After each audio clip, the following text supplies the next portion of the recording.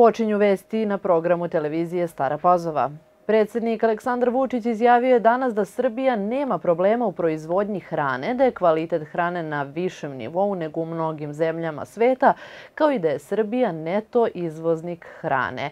Govoreći na otvaranju nacionalnog festivala hrane u Sava centru koji je organizovala kompanija Delez Srbija, Vučić je rekao da je srećen što je posle obilaska sajma mogao da vidi i stekne bolji osjećaj ko su ti naši ljudi koji proizvode robu za najveći trgovinski lanac u našoj zemlji. On je istakao da su tri osnovne stvari o kojima svaka zemlja mora da računa. Energija, hrana i voda. Direktor Kancelarija za Kosovo i Metohiju Petar Petković izjavio je da zakoni koje donosi Srbija kao vid podrške srpskom narodu na Kosovu nemaju nikakve veze sa obavezama iz dijaloga. Naglašava da su oni direktna posledica i reakcija na ugnjetavanje srpskog naroda od strane režima u Prištini i izostanka vidljivih akcija EULEX-a da zaštiti srpski narod i obezbedi vladavinu prava i spreči humanitarnu katastrofu izazvanu Kurtijevim jednostranim potezima terorizma i nasiljem nad Srbima.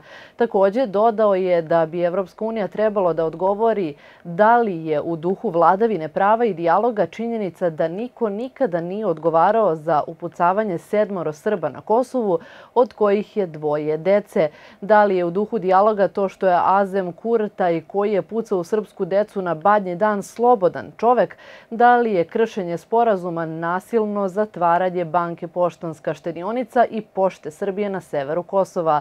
Upitao je i da li su evropske vrednosti to što najugroženiji Srbi, penzioneri i invalidi moraju da odlaze na administrativne prelaze po svoja primanja jer im je Albin Kurti ukinuo svaku drugu mogućnost.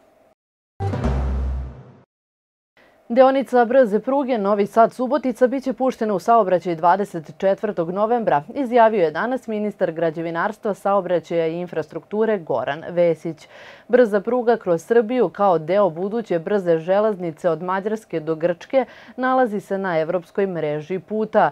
Kao što je najavio predsjednik Srbije Aleksandar Vučić, dan pre puštanja u saobraćaj nove deonice od Novog Sada do Subotice, Mađarska, Srbija, Severna Makedonija i Grčka potpisaće zajedničku deklaraciju o izgradnji brze pruge od Budimpešte do Atine, odnosno Pireja i Patre, rekao je Vesić.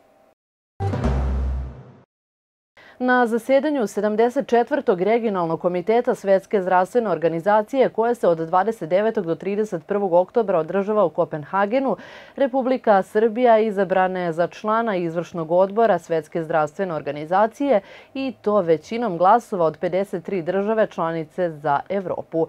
Ministar zdravlja Zlatibor Lončar istakao je da je to uspeh svih građana Srbije i još jedna potvrda da je napredak našeg zdravstvenog sistema međunarodno priznati prepoznat prepoznat. Izvršni odbor Svetske zdravstvene organizacije za Evropu ima osam članova koji se biraju na period od tri godine. Glavna funkcija izvršnog odbora je da sprovodi odluke i politike Svetske zdravstvene skupštine, savjetuje i olakšava njen rad. Na dnevnom redu četvrte sednice aktualnog saziva Skupštine opštine Stara Pazova koja se održava sutra u 10 časova nađe će se rebalansi finansijskih planova svih mesnih zajednica Narodne biblioteke Dositi Obradović, Centra za kulturu, Centra za socijalni rad, Crvenog krsta, turističke organizacije, Doma zdravlja kao i predškolskih ustanova Poletarac i Radost. Pred odbornicima će biti izveštaj bezbednosti saobraćaja na putevima u našoj opštini za prvu polovinu ove godine po kome je bilo 75 saobraćaja saobraćenih nezgoda, od toga 52 sa povređenim licima. 12 lica je bilo teško povređeno, a jedno je izgubilo život. Povređeno je i šest pešaka i troje biciklista, a jedan pešak je poginuo.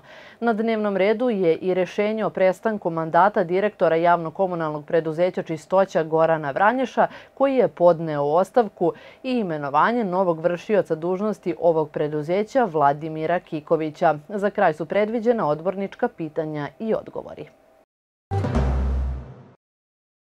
U okviru projekta Snaga porodice Centra za socijalni rad opštine Stara Pazova, deca iz objekta Aviončić predškolske ustanove Poletarac tokom jučerašnje radionice zajedno su sa roditeljima učestvovali u raznim kreativnim aktivnostima. Mališani su imali priliku da kroz igru i razgovor istraže temu porodice kao i značaj međusobne podrške i bliskosti. Ovakve aktivnosti za decu i roditelje organizovane su i protekle nedelje u osnovnoj školi Boško Palkovljević-Pinki u Staroj Pazovi sa ciljem jačanja porodičnih vrednosti i zajedničkog društva druženja.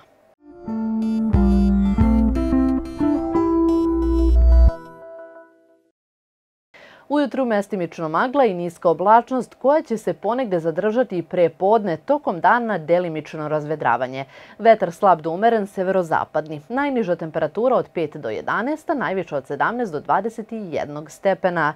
Pratili ste vesti. Hvala vam na pažnji.